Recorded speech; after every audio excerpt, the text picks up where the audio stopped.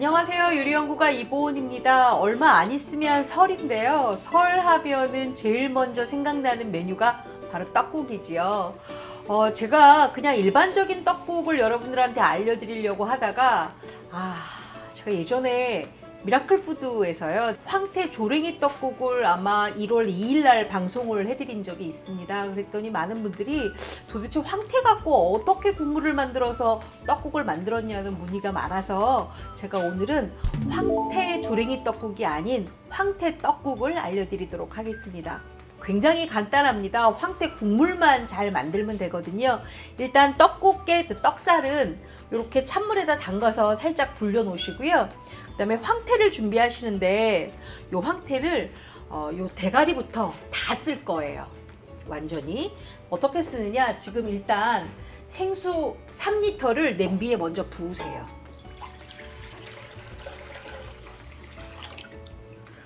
불을 켜세요. 센 불로 여기에다가 대파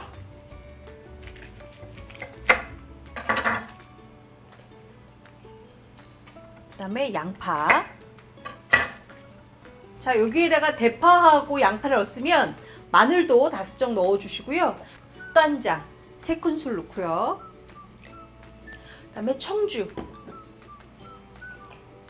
2큰술을 넣습니다. 그리고 여기에 여기 지금 저희가 준비한 황태잖아요. 황태 잘라서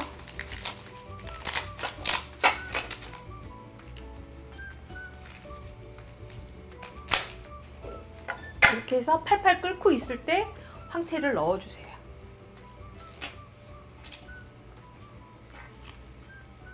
그러면 이 황태 넣은 이 국물을 어느 정도 끓이느냐 센 불에서 10분 10분 끓고 나면 중간 불에서 30분을 끓여주시면 되는데요.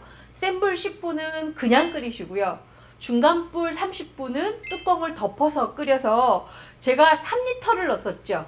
이 3리터가 한 0.5리터는 날아가도록 해서 2.5리터 정도만 남기도록 끓이시면 되겠습니다. 자, 이제 팔팔 끓여서 살짝 제가 한 김을 식혔거든요. 요거를 체에 맞춰서 국물을 빼세요.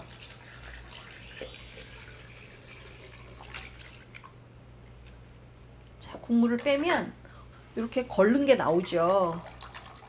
이게 혹시 또 다 밑으로 내려갈 수 있으니까 이렇게 해서 준비를 하세요. 다 됐죠? 이 국물은 다시 어디다 넣는다? 냄비에다 다시 넣으세요. 이제 떡국 끓일 거예요. 이렇게 하고 황태 살을 발라야 돼요. 그래야 우리가 떡국 끓일 때 같이 끓일 수가 있어요.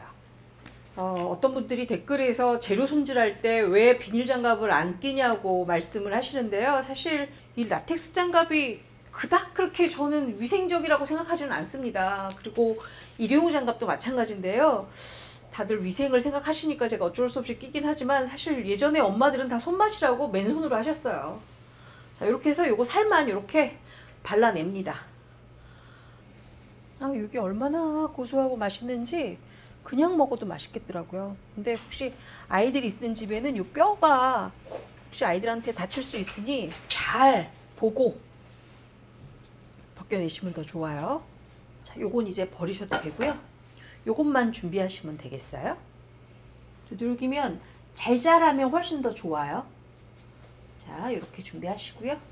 자, 요게 지금 마른 표고버섯입니다. 마른 표고버섯 물에다가 30분 정도 불려 놓으시면 이렇게 굉장히 야들야들하게 잘 불려졌죠? 요거 그냥 채 썰어서 준비하시면 될 것 같은데 아주 곱게 채 써는 것이 좋습니다. 그래야 우리가 떡국에 요 표고버섯 넣었을 때 고기처럼 씹히는 맛이 있거든요. 그래서 요거 이렇게 썰어 주시고요.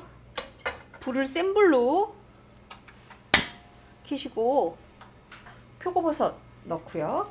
그리고 요 아까 준비했던 황태 찢어 놓은 거 넣어 주세요. 자, 이러면 이제 다 끝났어요. 상차림을 먼저 하세요. 김치도 썰어 놓고 동치미도 담아 놓고 상차림 먼저 다 하시고 난 다음에 그 다음에 해야 될 게 뭐냐면 이렇게 송송송 썬 파 준비하시고요. 요거는 달걀인데요. 달걀 두 개를 곱게 채 내려서 줄알 빼고 난 다음에 이렇게 준비해 주시면 되겠어요. 그리고 여기 지금 떡국 떡이에요.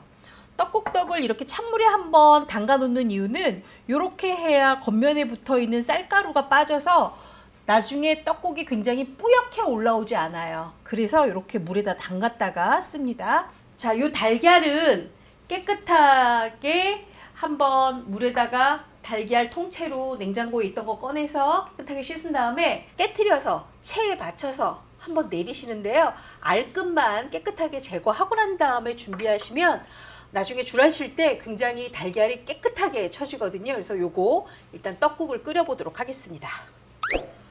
자, 이렇게 국물이 지금 펄펄펄 끓고 있는데요. 국물 한번 보실래요?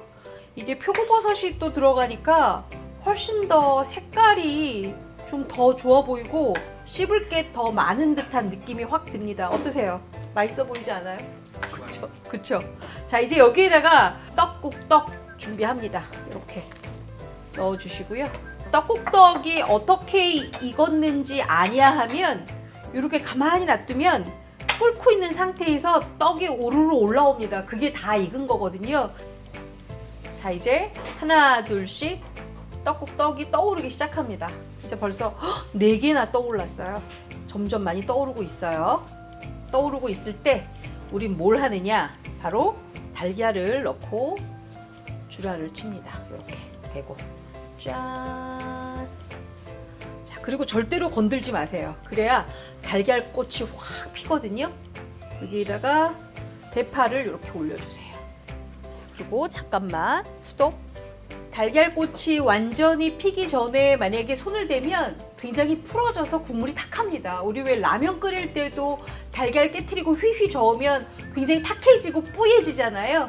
그럼 맛이 없으니까 달걀꽃이 확 올라오도록 잠깐만 기다리세요. 자, 이제 거의 다 됐어요. 자, 이제 한 번씩 떠줘요. 이렇게 보세요. 달걀꽃이 이렇게 올라오도록 이렇게 굉장히 먹음직스럽죠. 이렇게 요래야 맛있는 거예요.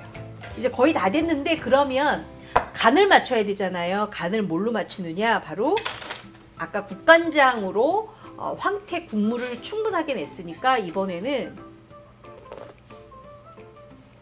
소금으로 맞춥니다. 소금으로 2분의 1 큰술만 넣어주시면 될 것 같아요. 자, 이제 다 됐습니다. 그릇에 좀 담아볼게요. 아무래도 설밥상이니까 이런 약간 고전적인 거 딱 해서 올릴게요. 이렇게. 어떠세요? 달걀꽃 핀거 굉장히 이쁘지 않아요?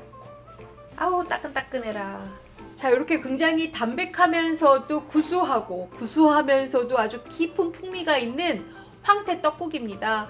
이번 설에는 물론 고기 떡국도 괜찮고 사골 떡국도 괜찮지만 저는 이렇게 황태 떡국으로 김장김치 탁 올려서 먹거나 아니면 제가 지난번에 알려드렸던 삼일동치미와 같이 곁들여서 잡수시면 아주 금상첨화일 것 같습니다. 맛있겠지요?